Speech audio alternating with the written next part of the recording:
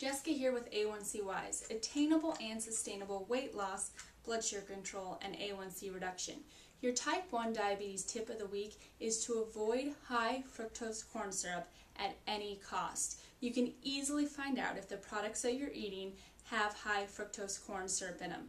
And please pay attention too, because I know that companies are trying to get creative and call it something else. But bottom line, you really want to avoid ingesting this product. What they found in study after study after study is that the incident rate of diabetes can be up to 20% higher in the countries that consume a large amount of high fructose corn syrup. It is not a good thing to have in the products that you're eating.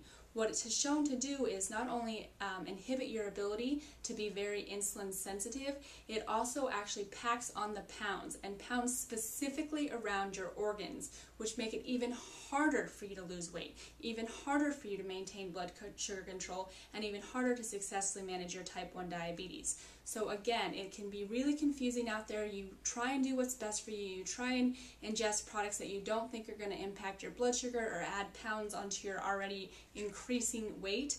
But then the truth is that it's disguised in these names like cornstarch and high fructose corn syrup, and you think what you're doing is actually good, but in truth, it is actually sabotaging your results and not giving you the ability to successfully lose those unwanted pounds and tightly manage your type 1 diabetes. So again, look at the labels of the food that you're consuming. If you see the phrase high fructose corn syrup, you must, must, must absolutely stop eating that product if you truly want to lose weight and get control of your type 1 diabetes. So that's the tip for today. Jessica with A1C Wise, thanks for watching and we'll see you next time.